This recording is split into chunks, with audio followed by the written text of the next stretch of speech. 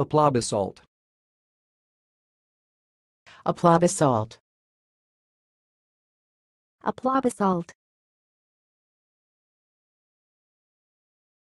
Thanks for watching. Please subscribe to our videos on YouTube.